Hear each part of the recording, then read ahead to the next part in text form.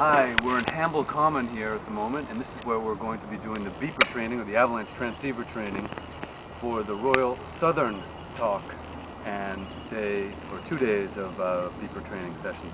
You can see uh, right behind me, for a uh, point of reference, the, the oil tank storage areas. That, so if you're late, this is where, where we are, and we're just about a two-minute walk from the shoreline as well. So we have forest around here, open areas like this here, and shoreline provide us an enormous amount of great topography to practice using your avalanche uh, transceivers or ours that we will provide you with if you don't have your own.